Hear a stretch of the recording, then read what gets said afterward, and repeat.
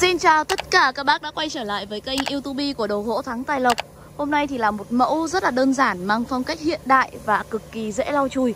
Uh, Trong những cái video trước thì em giới thiệu rất nhiều đến những bộ sản phẩm hoàng gia rồi tần thủy hoàng Hay là những cái bộ sản phẩm có nhiều chi tiết đục chạm như là Minh Quốc Nghê.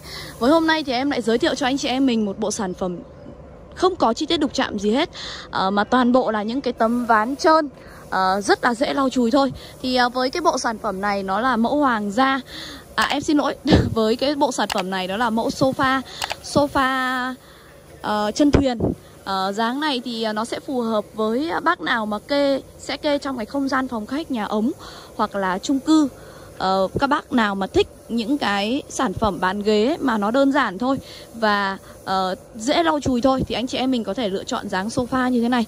Mùa đông mình có thể kê đệm lên để à, ngồi cho nó ấm. Mùa hè thì mình có thể bỏ đệm ra để uh, lộ những cái đường vân gỗ rất là đẹp. Ờ, với cái bộ sản phẩm này thì em đang làm là 5 món. Đây là sản phẩm sofa loại hàng to và dày dặn. Uh, đoạn dài của nó thì là chiều dài là 2m6 uh, rất là dài. Thì cái đoạn này thì Thực ra thì với cái mẫu sofa này thì nó cũng chả có gì để giới thiệu hết Bởi vì là toàn bộ những cái chi tiết của nó thì là uh, không có đục chạm gì hết Toàn bộ là trơn, chỉ uh, lộ những cái đường vân gỗ. Thì uh, với những cái chất liệu gỗ hương đá như em đang giới thiệu đây thì nó là chất liệu gỗ uh, cái tom gỗ của nó rất là bé độ bền cao và chất gỗ đanh. Đặc biệt là cái tom gỗ của à cái vân cái đường vân gỗ của nó thì như các bác thấy là vân chỉ đấy tất cả những cái đường vân gỗ là vân chỉ rất là nổi. Cho nên là nếu mà anh chị em mình sử dụng hương đá thì gần như là thông dụng nhất rồi. Đấy bộ này thì có một đoạn dài một đoạn ngắn một bàn lớn, một ghế đơn và một cái đôn Thì ờ, cái đoạn ngắn của bộ sản phẩm này em làm chiều dài là 1m9 Đấy, rất là là là là đẹp và cái bộ này thì dáng nó sẽ hơi thấp so với những bộ thông thường.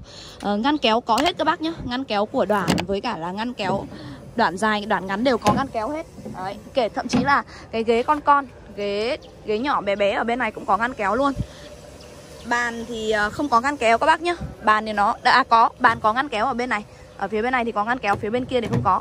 Đấy, bàn thì có một cái ngăn kéo và có một cái giá ở dưới để các bác có thể em thấy là nó cũng rất là tiện. Các bác ví dụ mà có những cái đồ gì mình không dùng thì mình có thể cất bớt xuống dưới để cho nó đỡ uh, chật bàn.